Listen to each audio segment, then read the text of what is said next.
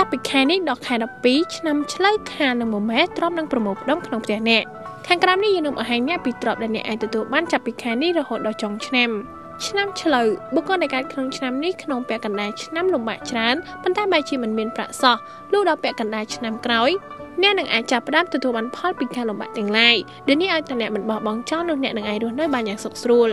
ឆ្នាំខាលអ្នកដែលកើតក្នុងឆ្នាំនេះជាបុគ្គលដែលមានសំណាងល្អតាមជាប់ខ្លួនជានិច្ចដែលនេះក្នុងពាក់កណ្ដាលឆ្នាំក្រោយនេះអ្នកនឹងអាចចំណេញបានប្រាក់ច្រើនដោយធ្វើឲ្យអ្នកមិនរស់នៅក្នុងជីវភាពលំបាកនោះទេជាហេតុធ្វើឲ្យអ្នកអាចចែករំលែកទ្រព្យសម្បត្តិបានជាមួយអ្នកដទៃទៀតផង